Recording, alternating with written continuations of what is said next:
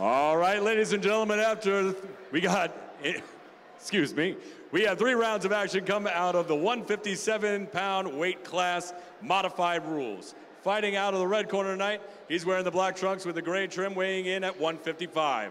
Representing Capital MMA with a record of 2 and 1 from Washington, D.C., Mainor Flaco Ramirez. And fighting out of the blue corner, he's wearing the red trunks with the gold trim. He's weighing in at 156 and representing Square Unity MMA with a record of 2 and 8 from the Bronx, New York, Mark the Wild Harmonics Hanna.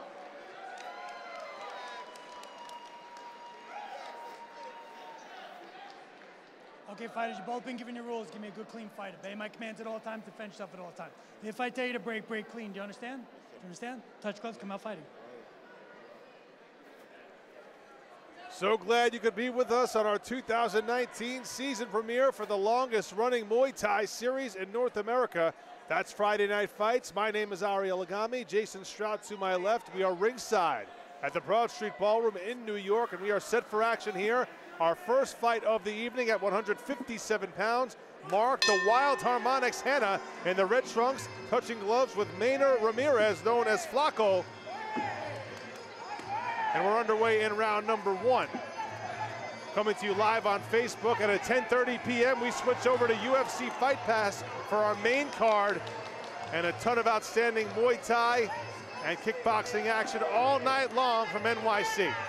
Mark Hanna definitely came to fight tonight, that's for sure. He's not here to dance, he's here to get down.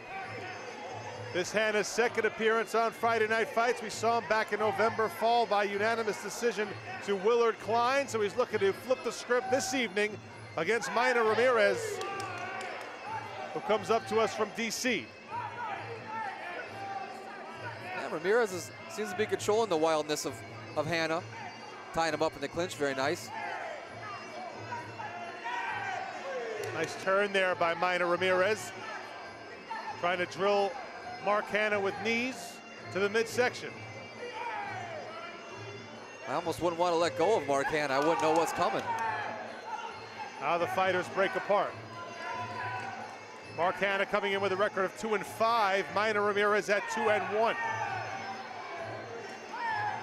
It's a 157 pound battle here. Kevin Mulhall, our third man in the ring for this bout. Outside leg kick lands for Mainor Ramirez. Now he tries to go up high, but Hanna anticipating it well. A little bit off balance now as Ramirez. Hanna trying to take advantage. Reaches out with those long legs. He's definitely taking advantage of those long legs, isn't he? Using that push kick from the outside.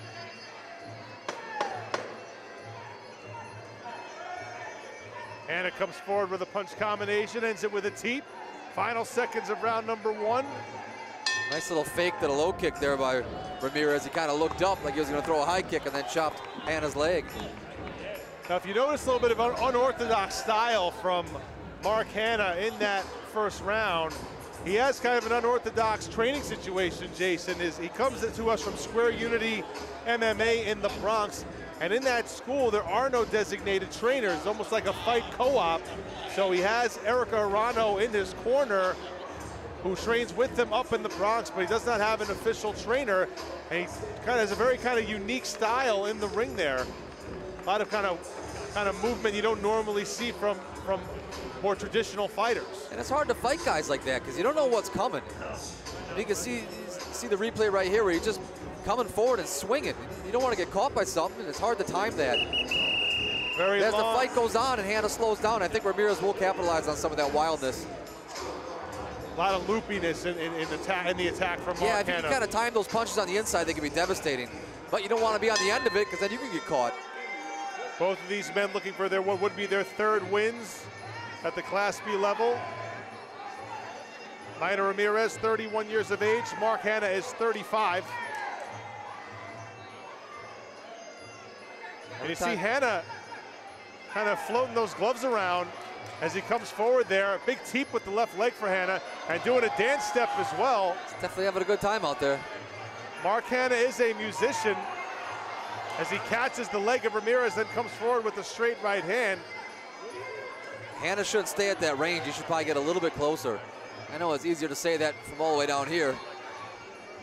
But I think if he closes the distance on Hanna, I think he'd be more effective. If he just stays right outside, tries to think of what to do, he's going to get caught with that long jab and that long front kick. And as you say that, Jason Ramirez. See right here, I wouldn't wait so long on the outside for Hanna because Hanna's got to get in his confidence, throwing those straight long shots. He did close the gap momentarily and seemed to have an effect, but then he backed away. Yeah, I'd close the gap, but I wouldn't stick my chin in the air as I was doing it. Left hook did land a moment ago for Ramirez, and he gets in a body kick. Harm the wild harmonics, Mark Hanna keeps him away. I think what happens is you have somebody in front of you with this awkward movement. You, you, you kind of get like almost hypnotized. You don't know what to do. You're too busy looking to see what comes next, and then you forget to throw. Right there, he's Ramirez was going strong in the first round, and now he's it's like you can't figure him out. Teep to the midsection for Mark Hanna. Top punch combination. I don't like Mark the way Hanna. Ramirez is keeping his chin in the air when he's punching. Chin's too high, right? A little bit too high. That's how you get clipped. Nice turn there by Mainor Ramirez. He goes by the nickname Sweet Flaco. He was effective Pretty- in, the, effective in the clinch early. He should go back to that. Ramirez should get a hold of Hanna and just keep working him with the knees like he was doing in the first round. Good moment for Ramirez there. Let me correct myself. Pretty Flaco. Not Sweet Flaco, although that was a sweet turn right there on the Wild Harmonics. And there's the bell in round number two. Touch of the gloves between these two competitors. And you wonder, without the traditional coaching style in Mark Hanna's corner, what kind of advice he's getting from Erica Harana, what kind of adjustments he's being I would just tell him to just keep being him. You know what I mean? make, I just yeah. keep doing what you're doing. Just be you. You know, sometimes having that weird, awkward style is very effective, and and almost when you try to fix that and correct it, it can kind of ruin what makes them them. You see the musical notes tattooed on Mark Hanna's back, and he's, he's basically dancing in the ring. Yeah. Ladies and gentlemen, make sure you tell your You friends. just gotta let a fighter like that just just be him. Mark Hanna straight right there. Ramirez finally able to get inside, but didn't didn't didn't really keep it going. Didn't keep coming forward. Although later in the round he did have a nice turn and send Hanna to the mat.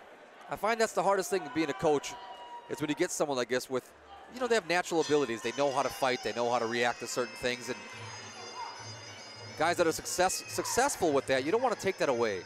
You know, you don't want to train that out of them. You want to kind of keep that and refine that. Pretty Flaco, Mainor Ramirez, couple of right hands getting in there in the early part of round two. Mark Hanna looked like he wants to do a belly-to-belly suplex in there. It's got some leverage on that lower back crank. Got the underhooks in. I thought he was going to throw him over the top. You have a suplex. Now Ramirez loading up. Told you, that chin in the air. Ramirez jumped in with that cross and the hook, and his chin was sticking out. As Ramirez was loading up with that left hand, he's, his, his face went straight up. Absolutely right, Jason Strout. You're watching Friday Night Fights, the 2019 season premiere, live on Facebook at 10:30 p.m. Eastern Time. We switch over to UFC Fight Pass for the main part of our card. You'll see Yasmin Salhani in a title fight against Janet Garcia. You'll also see Travis Clay and Eric Luna lock up in a five-round full rules Muay Thai affair in our main event at the professional level. That's going to be a barn burner to be sure. Just two of our five fights scheduled starting at 10:30 on UFC Fight Pass. But here we see Mark Hanna and Mainor Ramirez coming down the stretch, and Ramirez able to turn Hanna down to the mat once again. Yeah, I'd like to see Ramirez do a little bit more of that clinching on the inside.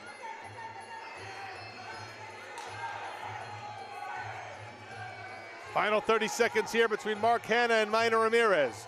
Hanna in the red trunks, fighting out of Square Unity MMA. Mainor Ramirez in the black and silver out of Capital MMA. Steven Rosillo is trainer in the DC area.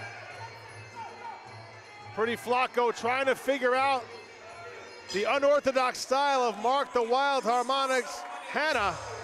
And we go the distance here on Friday Night Fights. Both fighters gassed after six minutes of action. Good performance by both of these men. Now, as a judge, Jason, we know as a coach and former fighter, you never like to leave it up to the judges. Kind of a complicated fight to score because You see It- the it- unorth- you see the nice turn by really by. Mainor Ramirez there. He had a couple of nice kind of technique moments in that fight, but Hanna, he was just throwing those arms and legs all over the place throughout the bout. Hard to know what kind of effect that has on the judges. I guess it depends what the judges are looking for. If they appreciate the clinch, they'll probably score more for that. Ramirez definitely won that battle. But there wasn't a lot of clean or effective blows. I think that's what judges like to see. You know, the emphasis often on clean, effective punching and kicking, of course, in Muay Thai, Thai boxing. But there was a lot of arms and legs flying every which way in this one. We'll see who the judges thought got the better of it. Here's Connor Hall. We do have a winner. It is by unanimous decision. But before I get to that, no flash photography, please. No videoing of any kind. No flash photography, okay? Thank you very much, everybody. Now let's get on with it. After three rounds of action, we do have a winner by unanimous decision. All judges see this fight 27 to 30 in favor of Mainor Flaco Ramirez.